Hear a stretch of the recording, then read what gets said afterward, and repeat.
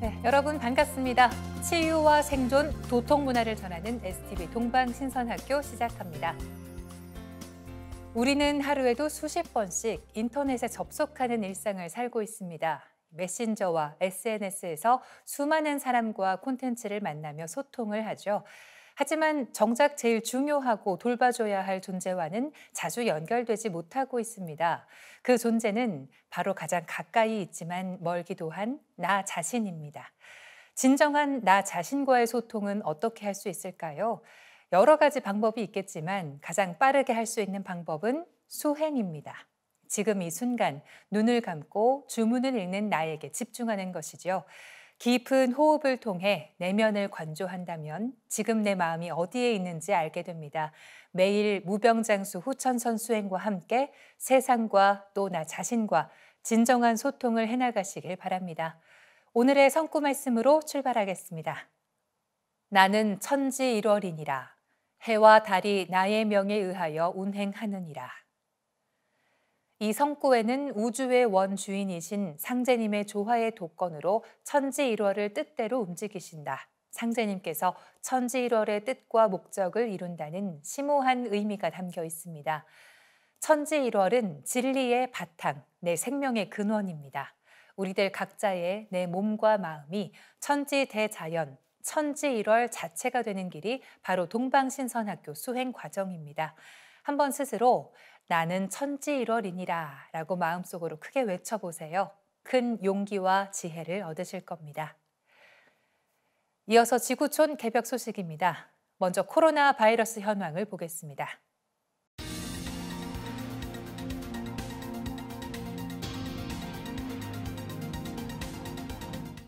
4월 18일 미국 경제매체 CNBC는 올해 국제 쌀 시장에서 20년 만에 가장 큰 규모로 쌀이 모자란다는 관측을 보도했습니다. 쌀 공급이 줄어든 주요 원인은 러시아와 우크라이나 전쟁입니다. 주요 밀 수출국인 우크라이나가 전쟁으로 밀 수입을 예전처럼 하지 못하자 그 대체제로 쌀 인기가 높아졌습니다. 게다가 지난해 중국과 파키스탄 등에서 이상기후 가뭄과 폭염, 홍수 등으로 농사를 망친 데다 인도에서 수출 통제에 나섰기 때문인데 당분간 일부 국가에서는 쌀을 구하기 어려워질 전망입니다. 아, 국적 시장 조사 업체 피치 솔루션은 2022년부터 23년 판매 연도 기준으로 올해 국제 쌀 시장 공급량이 수요에 비해 870만 톤 부족하다고 예상했습니다. 이는 2003년부터 2004년 판매 연도 이후 20년 만에 가장 많이 모자란 수준입니다. 마테우슈 모라비에츠키 폴란드 총리가 자국을 새로운 유럽의 리더로 규정해 눈길을 끌고 있습니다. 러시아의 우크라이나 침공 후 폴란드는 우크라이나 난민을 적극 수용하고 각종 무기를 우크라이나에 제공하며 동유럽의 지도국으로 부상했습니다. 우크라이나와 국경을 접한 폴란드는 전쟁을 피해 우크라이나를 떠난 난민 약 160만 명을 수용하고 있습니다. 전쟁 발발 후 이제껏 우크라이나에 탱크와 장갑차, 미사일 등 살상 무기를 적극 제공해 왔고 미그 29 전투기 지원 의사까지 밝혔습니다. 우크라이나를 위한 군사 원조 규모에서 폴란드는 미국, 영국에 이은 3위에 해당합니다. 국방력 강화를 위해 최근 K2 전차 등 한국 무기를 수입하고 나선 폴란드는 K 방산에 있어 중요한 파트너입니다. 모라비에츠키 총리는 올해 국방비를 국내 총 생산의 4%까지 늘리기로 한 종전의 약속을 재확인했습니다. 그는 폴란드는 유럽에서 가장 강력한 군대를 만들기를 원한다며 폴란드가 유럽 안보의 기반이 되기를 원한다고 선언했습니다. 코로나19가 지나간 뒤 각종 전염병이 빈자리를 메우고 있습니다. 아, 팬데믹의 위력만큼 그 후유증도 거센데 특히 어린 아이들에게 집중되고 있습니다. 팬데믹 기간 동안 잠잠했던 각종 전염병이 한꺼번에 유행하고 있어 이비인후과와 소아과와 또 주변 약국들은 그야말로 북새통을 이루고 있습니다. 약국과 일선 병의원에 따르면 일반 감기를 비롯한 독감, 아데노바이러스 등 바이러스성 전염병이 유행하면서 관련 환자가 폭증하고 있습니다. 여기에 미세먼지와 황사가 기승을 부리면서 알러지 증상으로 병원을 찾는 환자도 적지 않습니다. 문제는 유행 중인 전염병 중 상당수가 영유아에 집중됐다는 점입니다. 코로나19가 특히 노인층에 치명적이었다면 팬데믹이 쓸고 간 뒤 위세를 떨치고 있는 전염병은 아이들에게 집중된 경향을 보이고 있습니다. 이어지는 순서는 상생 라이프입니다. 여러분, 단기에 대해 알고 계신가요? 단군 왕검이 즉위한 해를 기원으로 하는 것인데요. 지금 세대는 서기를 더 익숙하게 사용하고 있습니다. 잃어버린 역사와 함께 단기도 바르게 찾아야 할 텐데요. 황사를 씻어내리는 촉촉한 봄비 같은 시간이죠. 역사 오아시스에서 전동원 대한사랑 교육위원님과 함께 연호와 함께 사라진 단기에 대해 알아보겠습니다.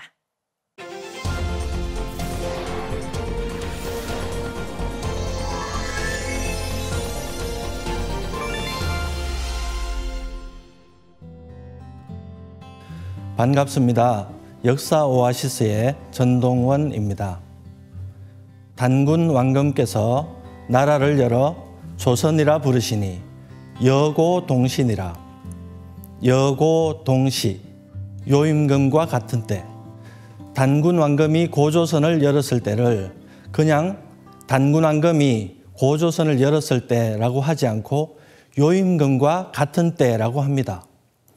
아마 당시 사람들에게 고조선의 단군 왕건보다 중국의 요임금이 더 쉽게 떠올릴 수 있는 인물이 아니었나 생각해 봅니다.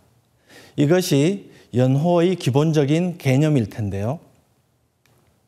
바로 단군 왕금이 고조선을 열었을 때를 그 기준으로 삼는 연호가 바로 단기입니다. 우리가 단기라는 연호를 본격적으로 사용한 것은 아득한 고조선의 역사와 비교할 때 그리 오래되지 않았습니다. 단군 개국 4238년 1905년 황성신문에 실린 것이 가장 먼저였다고 합니다.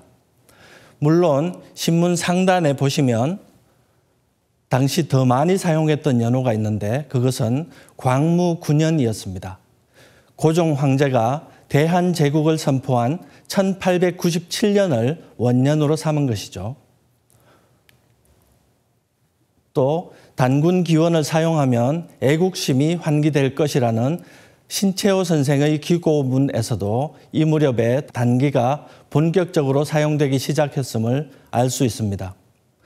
황성신문에서 처음 사용한 이 단군 개국, 단군 기원 등의 연호는 대한 매일신보, 만세보, 경남일보 등 국내 대부분의 신문에 사용되기 시작합니다.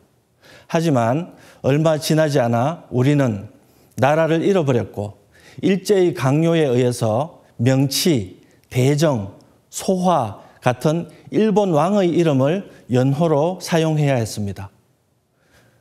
1945년 우리는 드디어 해방의 기쁨을 맛봤고 다시 한번 단기를 연호로 사용하기 시작했습니다. 1948년 재헌국회는 압도적인 표결로 단기를 공식화했습니다. 이때부터 대한민국의 모든 문서는 단기로 표기하게 됐습니다. 하지만 이 또한 오래 가지 못했는데요. 13년 어, 뒤인 1961년 박정희 소장이 이끄는 국가재건 최고회의가 단기를 폐지하고 서기를 사용하는 새로운 법률안을 통과시켰던 것입니다. 그 이유는 대부분의 선진국에서 사용하는 서기 연호가 경제 발전에 유리할 것이라는 논리였죠. 그 바람대로 우리나라 경제는 발전에 발전을 거듭했습니다. 나라는 부유해졌고 군사력도 강해졌습니다. 대한민국의 국제적 위상도 높아졌습니다. 그러나 단기 폐지가 국가 발전에 얼마만큼 이득이 되었는가에 대해서는 의견이 갈립니다. 일본이 아직도 천황 중심의 연호를 포기하지 않고 있지만 연호 때문에 경제가 어렵다 는 분석은 없습니다. 또한 길이, 무게와 같은 단위가 다른 나라와 다르다면 연호보다 더 혼란스러울 텐데요. 미국 같은 경우 그들만의 전통 단위를 고수하고 있지만 별 문제 없이 나라가 돌아가고 있습니다. 이러한 사례들을 볼 때 단기 폐지의 경제적인 효과는 의문스럽습니다. 하지만 단기 폐지의 부정적인 효과는 분명한데요. 2000년대 들어서 여론조사에서 고조선과 단군이 실존했느냐 하는 질문에 그렇다는 응답자가 절반 이하로 뚝 떨어져 버린 것입니다. 연호를 단기로 지정하는 것, 그리고 교육기본법에 홍익인간을 넣어두는 것, 개천절을 국경절로 지정하는 것, 이 세 가지는 이제 막 일본의 억압에서 풀려난 상황 속 이 세 가지는 그나마 우리 결례를 하나로 묶어둘 수 있는 최소한의 장치였을지 모릅니다. 이 세 가지 중에서 우리는 이미 단기 연호를 잃어버렸습니다. 그리고 2년 전에는 홍익인간의 가치를 교육 이념에서 삭제하려는 시도가 국회에서 있었습니다. 개천절에 대해서는 개천이 애완견 1천 마리라는 씁쓸한 농담을 들었어야만 했습니다. 이러한 모든 사건의 이면에는 단군과 고조선은 없었고 기원전 6에서 7세기 중국 문명의 영향으로 나라다운 나라가 열렸을 것이다 라는 잘못된 주장이 도사리고 있는 것입니다. 역사를 아는 만큼 미래가 보인다 라고 합니다. 단군 조선의 역사를 되찾는 만큼 대한민국은 하나가 될 것입니다. 일본도 역사를 되찾을 수 있을 것입니다. 신시 개천의 역사를 밝히는 만큼 중국도 그들의 그 근본을 찾게 될 것입니다. 그것은 그들의 문명은 환웅천왕의 배달 동의에서 뻗어져 나간 것이기 때문입니다. 감사합니다. 역사를 아는 만큼 미래가 보인다. 단군 조선의 역사를 되찾는 만큼 대한민국도 하나가 될 것이라는 말씀이 가슴에 남습니다. 전동원 교육위원님 감사합니다. 대한의 역사가 빛을 되찾는 진정한 광복의 날이 오기를 바라며 2부 수행 시간에서는 우리의 몸과 마음을 빛으로 가득 채워야겠죠. 저는 여기서 인사드리겠습니다. 인류 문화사의 최초의 계시록 천부경을 노래로 듣고 오겠습니다.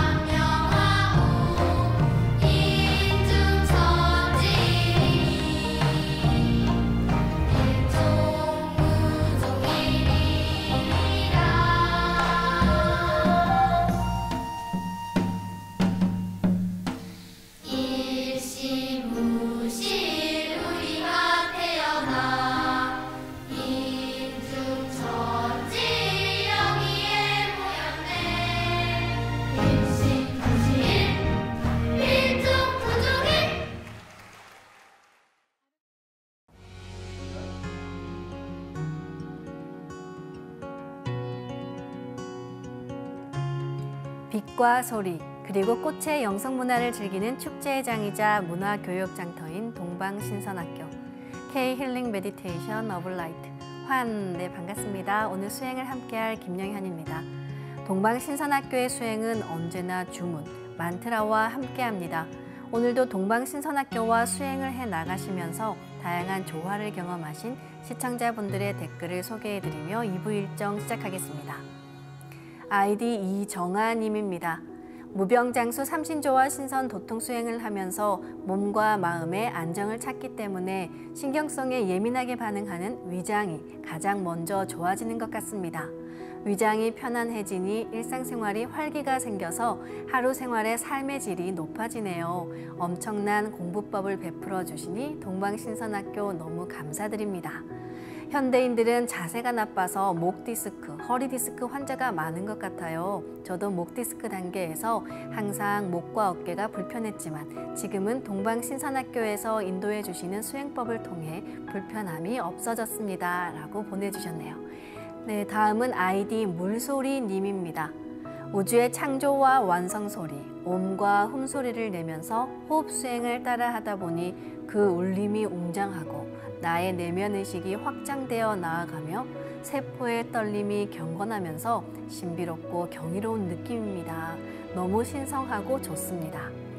원십자 수행 시 나의 회음에 우주 원십자 영영 좌표를 맞춰 앉으면 회음에서 회오리처럼 기운이 강력하게 올라오는 게 보이는 체험을 하고서 아, 여기에서 무국의 조화바다 기운이 들어오는구나 라고 느낄 수 있었습니다. 네, 위장병이나 디스크로 괴로워하시는 분들께 담비 같은 체험 사례였습니다. 무국의 조화바다를 직접 체험하신 분의 댓글도 있는데요. 저도 축맥과 함께 온몸에 기맥이 뚫릴 때 원십자 영영좌표에서 기운이 솟구쳐 올라오는 것을 본 적이 있는데요. 소중한 체험 사례들 댓글로 보내주셔서 진심으로 감사드립니다. 사례가 채택되신 분들은 하단 자막으로 나가는 대표 번호로 연락 주시기 바랍니다. 감사의 마음을 담아 소정의 선물을 보내드립니다. 앞으로도 많은 관심과 다양한 체험 사례 올려주시기 바랍니다. 이렇게 조화신선 도통수행법으로 신선의 몸이 되어 나가는 과정에서 우리 몸은 자가치유가 되는데요. 오늘은 설려와 치유 수행을 통해서 놀라운 은혜를 경험하신 분들의 다양한 체험 말씀을 듣는 시간 마련했습니다. 함께 보시죠.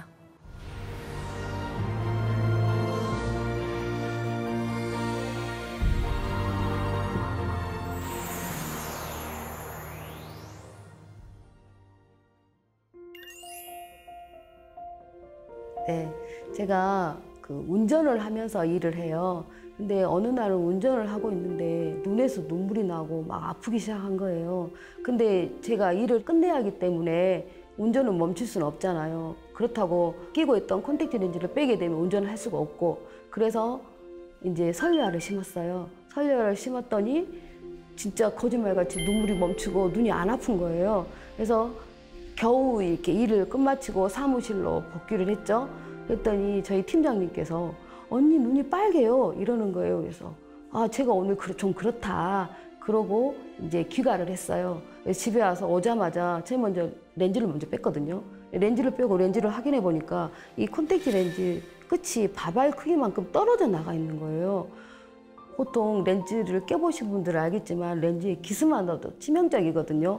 근데 바발 크기만큼 떨어져 나갔는데 제 눈이 멀쩡한 거예요. 그래서 제가 너무 놀랐어요. 아, 설녀가 이렇게 대단하구나 하고 실감하게 되었습니다. 그 다음날 제가 이제 또 운전을 해야 되잖아요. 그래서 걱정이 돼서 집중적으로 이제는 망막, 그리고 홍채, 그리고 내 세포 하나하나 그 세밀세밀하게 아주 설녀를 신고 합의를 하면서 수행을 했어요. 그래서 그 다음부터는 아무렇지도 않고 병원에 안 가고 낫게 되었네요.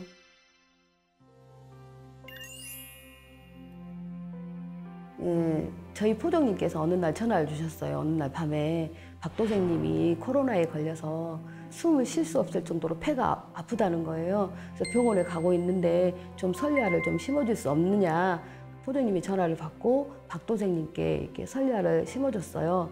그 다음 날 가서 설리아 심어준 제감님하고 저하고 이게 체험을 공유하게 됐거든요. 그랬더니 제감님께서 그러시는 거예요.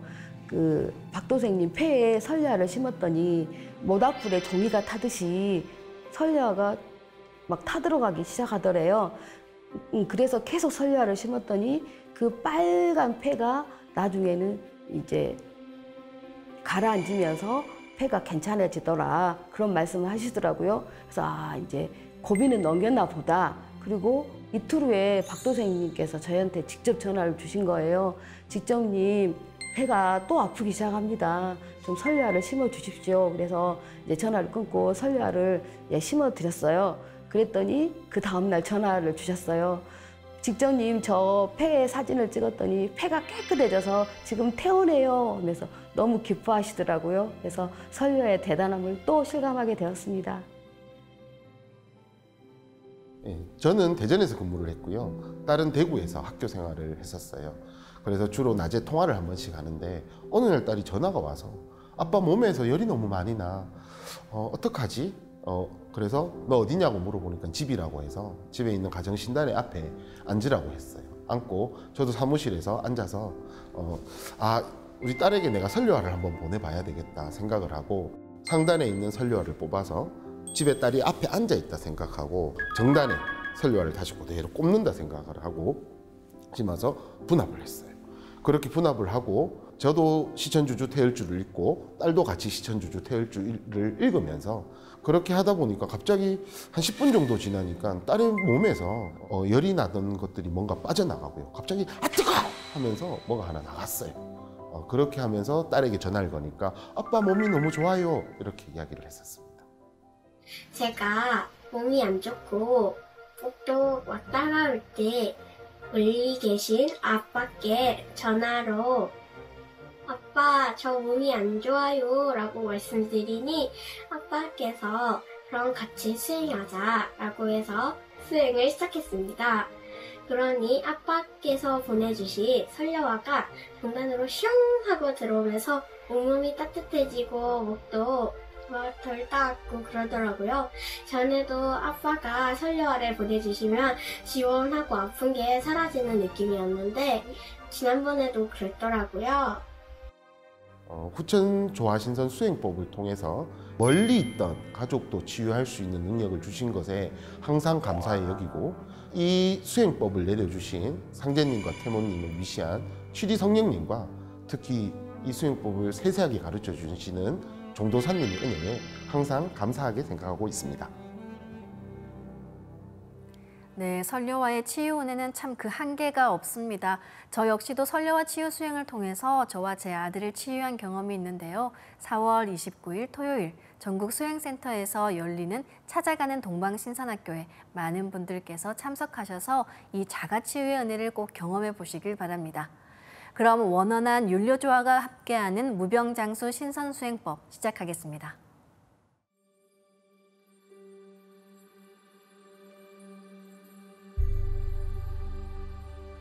모두 자리에서 일어나 예를 갖춰 주시기 바랍니다.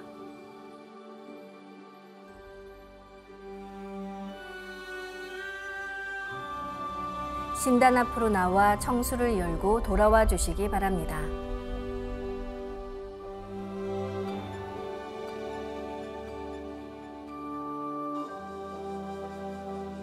청수는 생명의 근원으로서 나와 온 우주가 소통할 수 있게 해줍니다.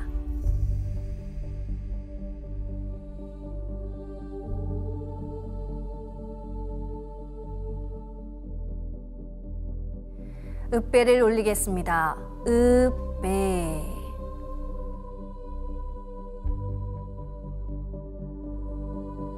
바로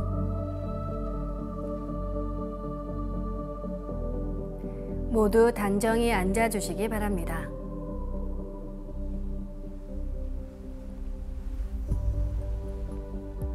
이제 방석에 앉아 잡념을 끊고 편안하게 눈을 감습니다. 맑고 순수한 의식으로 허리는 곧게 쭉 펴고 앉습니다. 그리고 마음으로 우주 원십자를 긋고 원십자를 빙 둘러 정원을 그립니다. 이제 원십자 정중앙 영영좌표에 나의 회음을 맞춥니다. 원십자의 정중앙 영영좌표는 온 우주에 충만한 본체 삼신 태어령님의 조화바다 중심 좌표입니다. 원십자에 맞춰 앉으면 한순간 우주무극의 조화바다 속에 뛰어들어 몸과 마음을 빛으로 정화하면서 온 우주와 일체가 됩니다. 지금부터 눈을 감고 나의 하단전을 내면에서 바라보며 숨을 점점 더 천천히 깊게 호흡합니다. 의식은 나의 아랫배 깊숙이 하단전에 집중합니다. 들숨에는 무형의 무궁한 기의 조화받아 하단을 열어 우주의 조화빛 그 생명의 기운을 들이마시고 날숨에는 내 의식과 몸속의 탁기, 병의 기운 등 부정적인 모든 기운을 내보낸다고 생각합니다.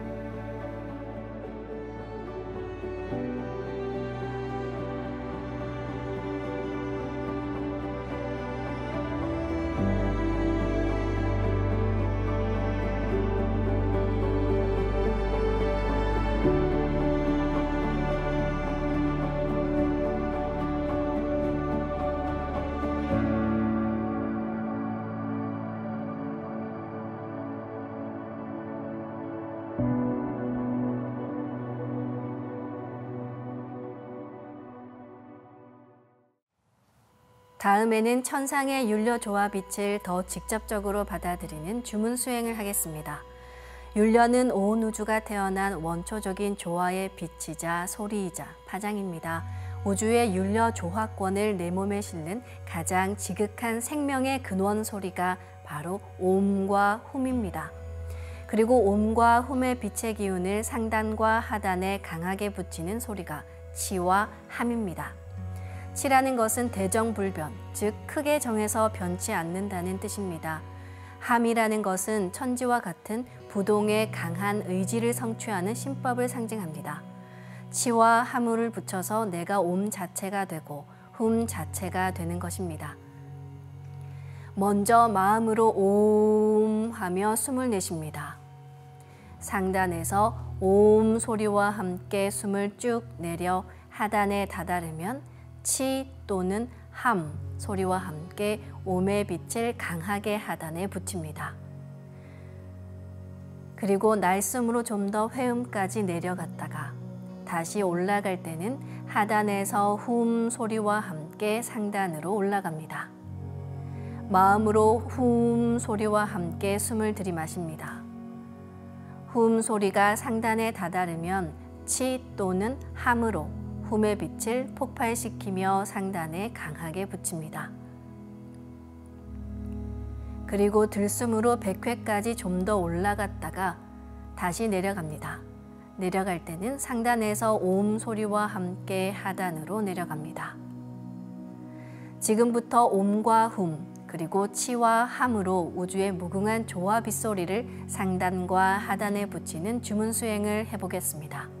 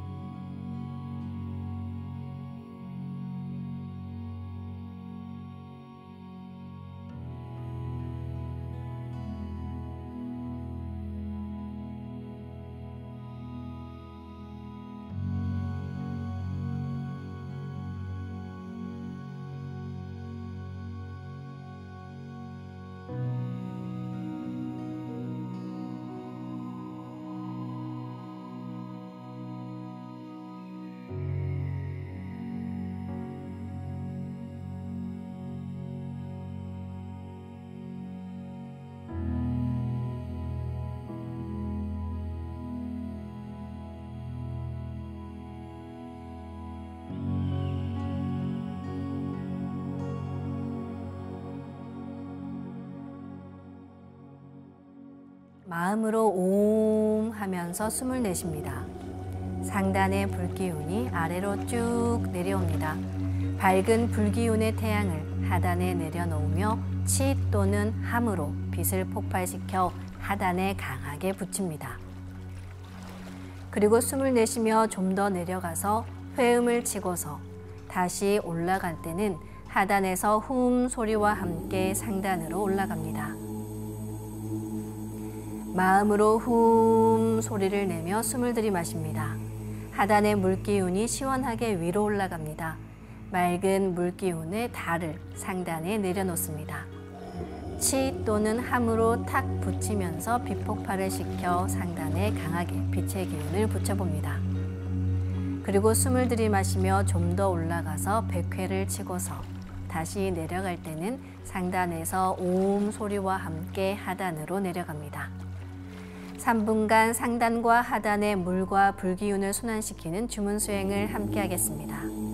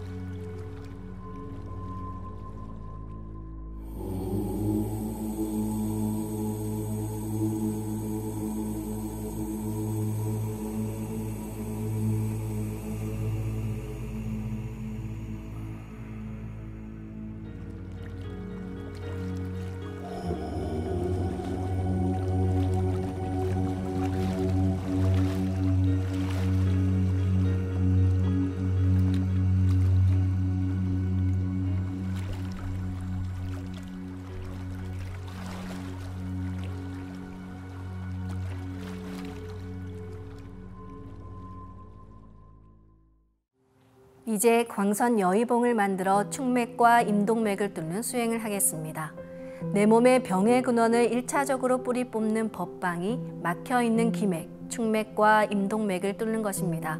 그리고 충맥과 임동맥이 막힌 채 10시간을 수행하는 것보다 충맥과 임동맥이 뚫린 상태로 1시간을 수행하는 것이 천지 기운을 더 제대로 내려받습니다. 충맥과 임동맥은 탁하고 오염된 기운으로 매일 조금씩 막히기 때문에 날마다 세수하듯 뚫어야 하는데요. 그럼 먼저 충맥을 뚫어 보겠습니다. 생각으로 나의 왼손 엄지에 감겨 있는 상제님의 조화광채, 빛 유전자인 신줄을 시계 반대 방향으로 풀어 왼쪽 팔 안으로 넣습니다.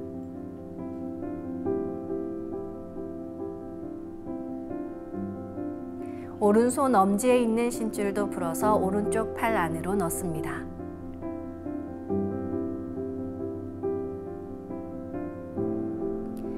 다음은 나의 왼손 검지에 감겨 있는 태어령님의 조화 광채, 빛 유전자인 혼줄을 시계 반대 방향으로 풀어 왼쪽 팔 안으로 넣습니다.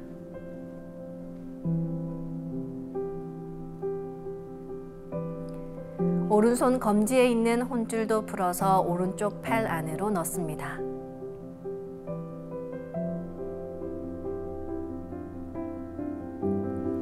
생각으로 과정을 따라 하시면 여의주인 내 생각 그대로 이루어집니다. 이제 양팔을 흔들면서 신줄과 혼줄을 유전자처럼 서로 꼬아 하나가 된다고 생각합니다. 이어서 내 몸에 빛이 꽉 찬다고 생각을 하면 오장육부와 근육, 뼈, 혈관, 림프까지 온몸이 빠짐없이 빛으로 가득 찹니다.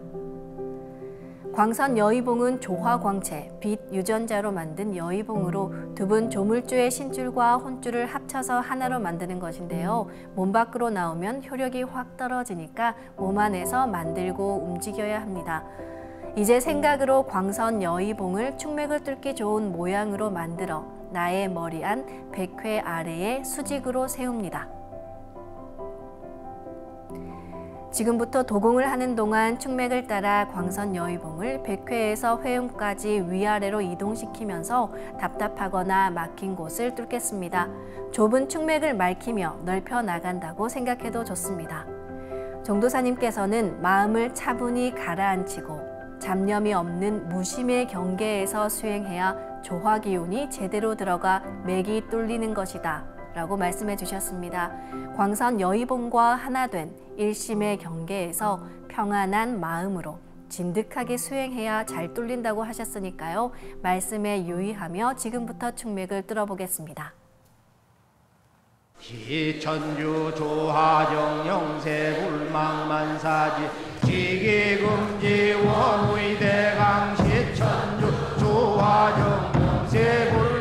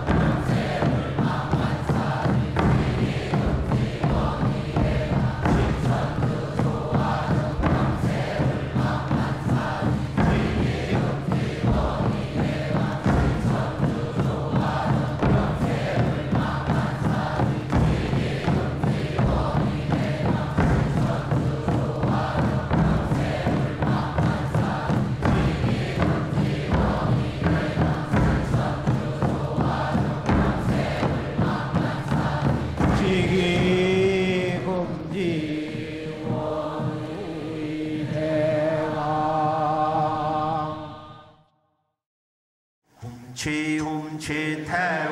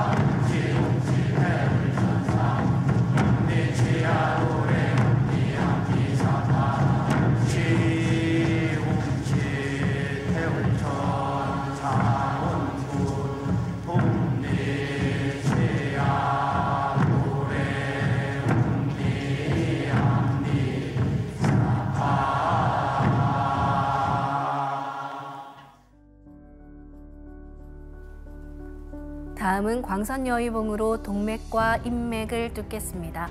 내 몸의 시원한 수기는 등 쪽의 중심 라인인 동맥을 따라 상단으로 올라갑니다. 그리고 따뜻한 화기는 몸 전면의 중심 라인인 인맥을 따라 하단으로 내려옵니다. 삼신의 조화빛을 마시며 호흡 수행과 주문 수행을 하면 임동맥 라인을 따라 수기와 화기가 순환하며 자연히 우주 조화에 윤려 토기가 생성됩니다. 그러면 의지가 굳건해지고 의식이 정화되며 수행이 잘 되는데요. 광선 여의봉으로 기맥을 맑힌 만큼 훨씬 더 빠르게 수행 공부가 증진됩니다. 그럼 다시 자세를 바로잡아 보겠습니다. 원십자를 그어 회음과 맞추고 허리를 반듯하게 펴서 앉겠습니다.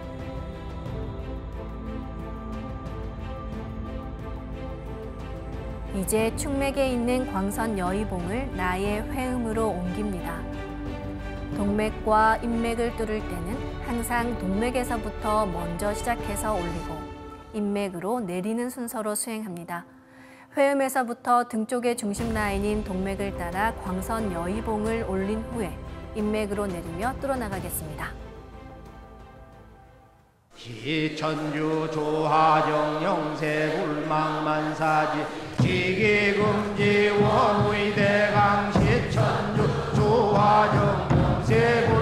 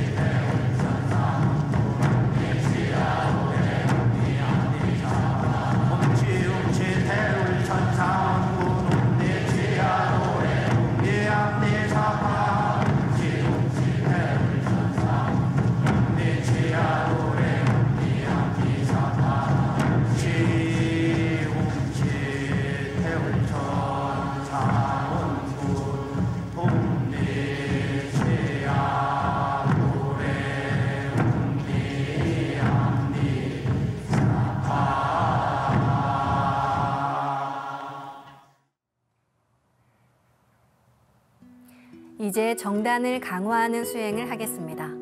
우주의 정신과 혼백을 내려받는 신의 이대 여의주, 시천주조와 태율주 주문의 빛의 기운을 하단에 강력하게 넣으면 수행의 원천적인 에너지, 정단이 형성됩니다. 정단이 충분히 뭉친 후 상단 수행을 해야 상단 수행도 더 잘 되기 때문에 다음 단계의 새로운 수행법을 배우더라도 정단을 뭉치고 충맥을 뚫는 수행을 매일 해주셔야 합니다. 허리를 다시 반듯하게 펴고 앉아보겠습니다.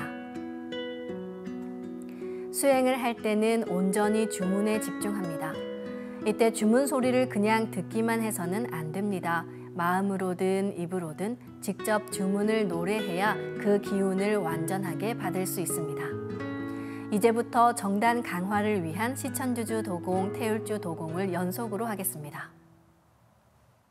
기천주 조하정 영세 불망만사지 지기금지 원의대강 시천주 조하정 영세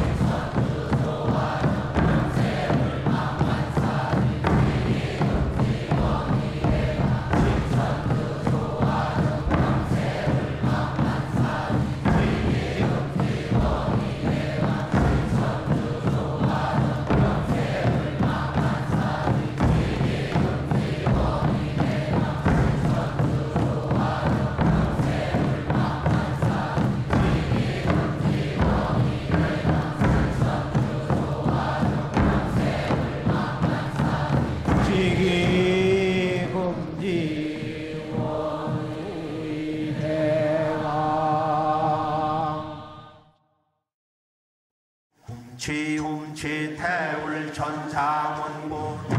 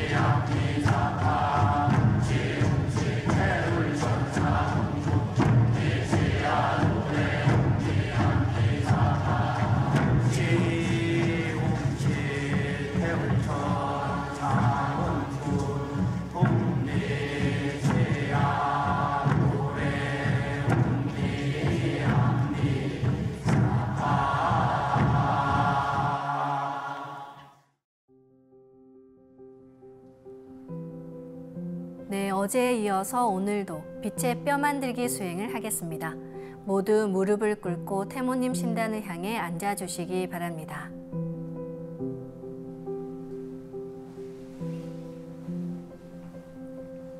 이제 천지의 어머니이신 태모님께서 개두 머리를 열어라 라고 명하십니다. 생각으로 자신의 머리 백회 부근에서 무형의 문이 슥 열린다고 생각합니다. 그리고 마음으로 명을 받들어 저의 머리를 개두하였습니다. 라고 고합니다.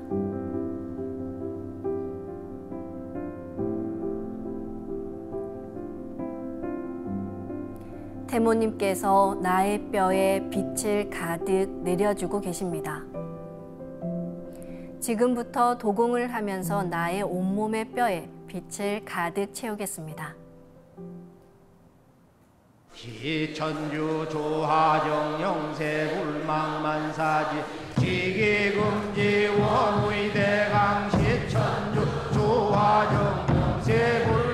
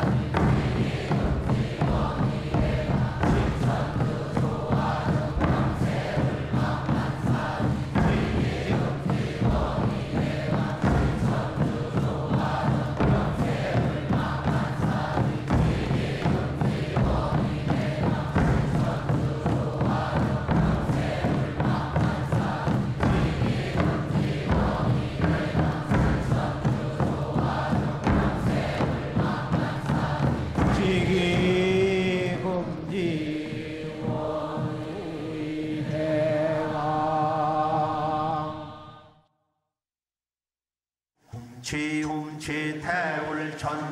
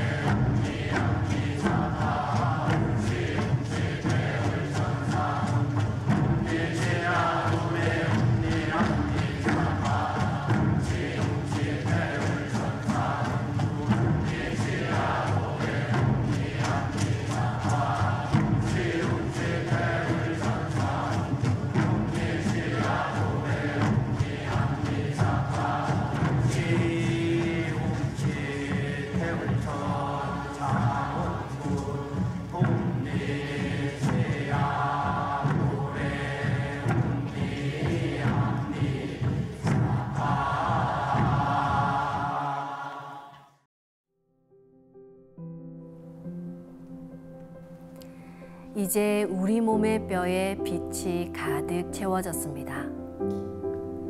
태모님께서 폐두를 명하십니다. 마음속으로 명을 받들어 폐두합니다. 라고 고합니다. 생각으로 백회 부근의 문이 쓱 닫힌다고 생각합니다. 생각으로 백회 부근의 머리를 쓱 닫습니다. 태모님께 빛의 뼈를 만들어 주셔서 감사합니다. 라고 감사의 기도를 올립니다.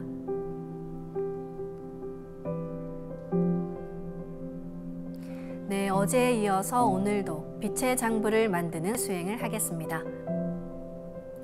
상제님 신단에서 빛으로 가득 찬 상제님 법신께서 손을 길게 뻗으시어 나의 머리 위에 손바닥을 아래로 향하여 얹으십니다.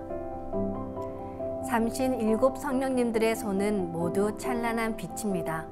상제님과 태모님, 태어령님을 위시한 칠위 성령님들께서 당신님들의 법신의 손을 나의 머리 위에 올리시는 순간 나의 몸 전체로 빛이 들어옵니다. 다 함께 칠위 성령님들께 기도 올리겠습니다. 제 몸에 있는 모든 장부를 빛의 장부로 변화시킵니다.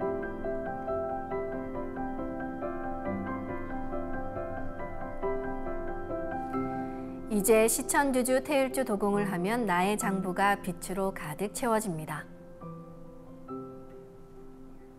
우선 폐부터 시작합니다. 기천주 조하정 영세 불망만사지 지기금지 원의대강 시천주 조하정 영세 불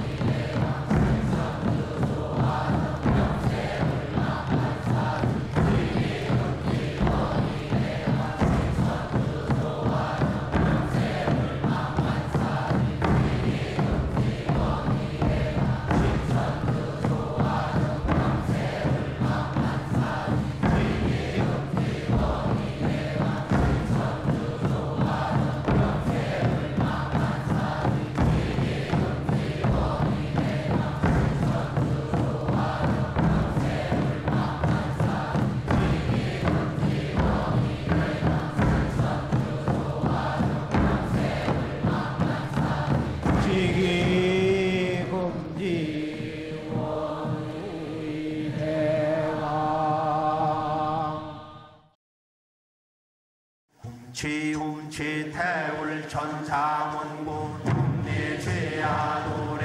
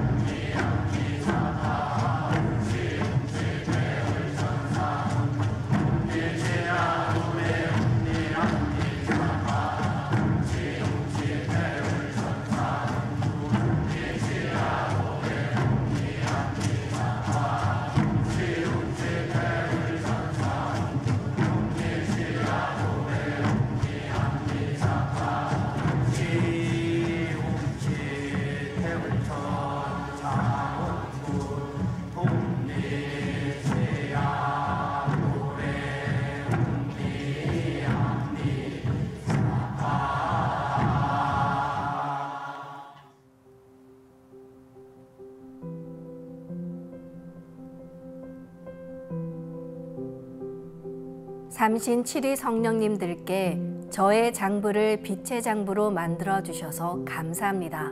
라고 감사의 기도를 올립니다.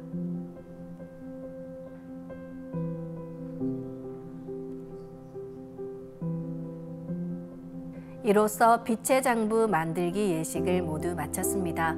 모두 자리에서 일어나 예를 갖추어 주시기 바랍니다.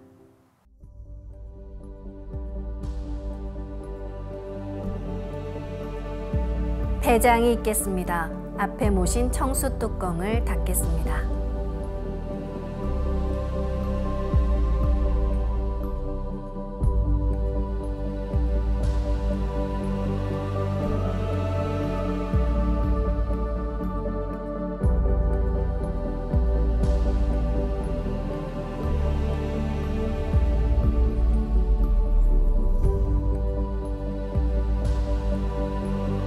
읍배를 올리겠습니다. 읍배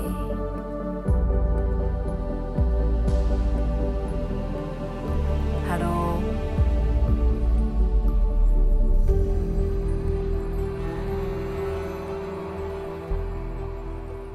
네, 여러분들께서는 수행을 하시면서 수행일지를 작성하고 계신가요?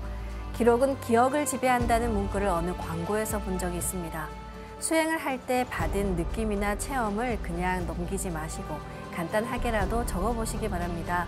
시간이 흐른 뒤에 나의 수행이 잘 되고 있는지, 나의 몸과 마음이 어떻게 변화하고 있는지 알 수 있는 가장 좋은 방법이 바로 기록입니다. 동시에 내가 매일 수행을 할 수 있는 동력원이 되기도 합니다. 동방신선학교에 댓글로 수행 체험을 올려주신 분들께 소정의 상품을 보내드리고 있으니까요. 많은 참여 부탁드립니다. 그리고 벌써 이틀 앞으로 다가왔습니다. 4월 29일 토요일 찾아가는 동방신선학교가 전국 수행센터에서 열립니다. 조화빛 광채와 우주조화 빛꽃 설려화를 전수받아 자가치유의 체험을 하실 수 있는 소중한 기회 놓치지 마시기 바랍니다. 다음 달인 5월에는 빛광채와 설려화로 아픈 곳을 집중 자가 치유하는 시간을 가질 예정입니다. 가정에서 혹은 가까운 동방신선학교 수행센터를 통해서 치유의 기쁨과 감동을 느끼는 푸르른 5월 되시길 바랍니다. 감사합니다.